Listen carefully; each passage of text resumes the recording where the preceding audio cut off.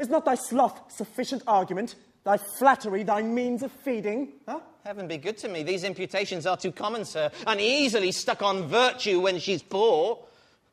You are unequal to me, and though, howe'er your sentence may be righteous, yet you are not. That ere eh, you know me, thus proceed in censure. St. Mark bear witness against you. It is inhuman. What? Does he weep?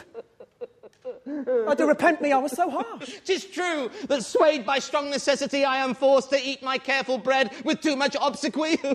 Tis true, beside, that I am fain to spin mine own poor raiment out of my mere observance, being not born to a free fortune, but that I have done base offices in rending friends asunder, dividing families, betraying counsels, mining men with praises, whispering false lies, tended their credulity with perjuries, corrupted chastity, or I'm in love with mine own tender ease, but would not rather prove the most rugged and laborious cause that might redeem my present estimation. Let me here perish in hope of all goodness. This cannot be your personated passion.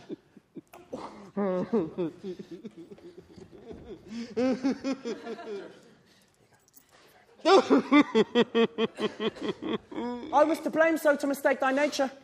Pray thee forgive me and speak out thy business. Hmm? Sir, it concerns you. And though I make a main offence in my manners and in my gratitude unto my master, yet for the pure love I have of right and hatred for the wrong, I must reveal it. This very hour, your father is in purpose to disinherit you.